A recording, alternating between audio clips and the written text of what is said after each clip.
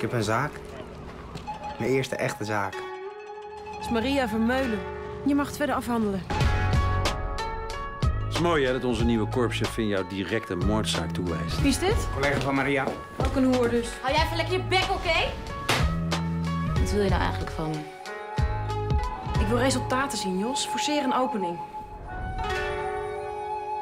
Hij is ongeschikt voor dit werk. Wanneer ik je verleid,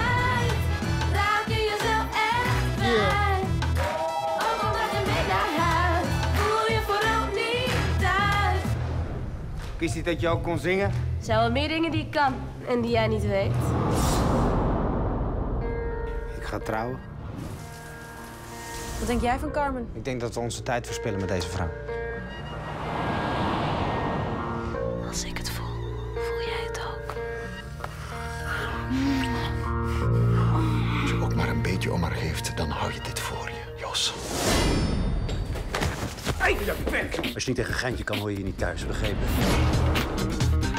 Jij zet mijn positie hier op het spel en dat kan je geen ene fuck schelen. Motje.